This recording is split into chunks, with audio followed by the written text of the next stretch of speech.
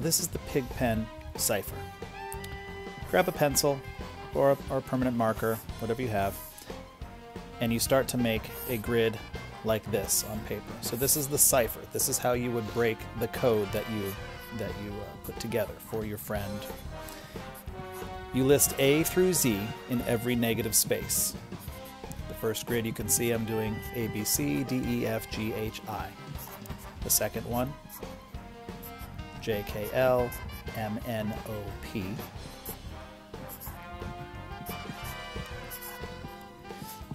Q, R, excuse me. S, T, U, V, W, X, Y, Z in the last one. So you can see they have their own specific square or triangle that they're in. Okay, so now you you make dots. So the first section is empty. The second one, you're just putting dots. J has a dot in the very corner. You see N, the letter N in the very center grid is a dot directly in the middle of the grid. Uh, P down in the bottom left has a little dot in the corner. Now you've got this next one. That's an empty one. And then W, X, Y, and Z have little dots in the center of the triangle. So if you take that, and this is just kind of random, the top one that I just wrote randomly, that's a J. See how it coincides with that J there. This next one is an N. See, there's a dot in the middle. Uh, R, I believe, is the next one. A, so it's an empty, an empty one, and you see just that angle there. So that's the angle on that grid equals the A. H, H is there. Uh, T is kind of that V, it's that, that triangle with no dot. W is right there. Z equals that triangle with the dot in the middle. And there. And this last one is a C. You know, so the C is that empty one there with no dot. So knowing that, okay, then you start to write a message. And this is just a classic message. I'm going to give it to my secret spy, and he's going to, uh, you'll see soon in the video.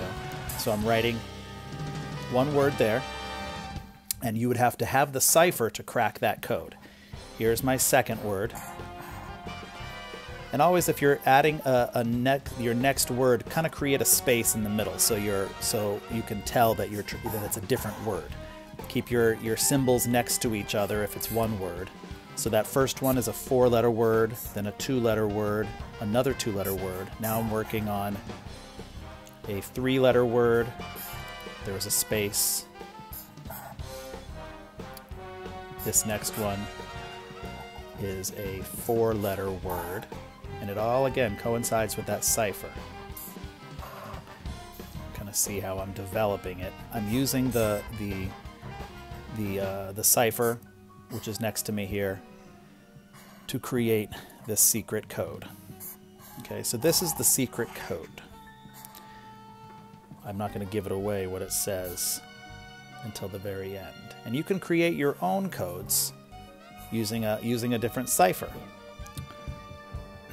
Meet me in the park at one. I gave it away.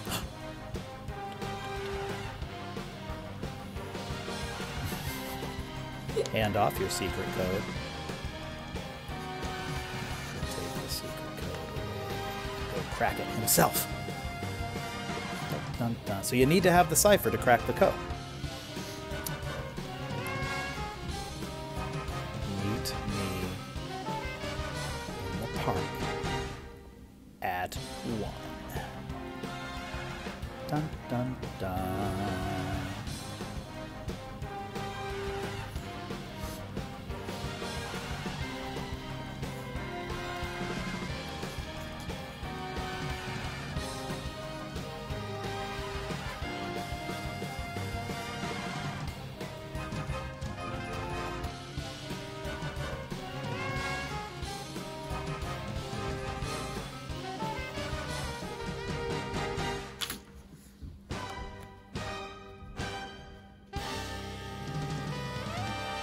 Now you try it.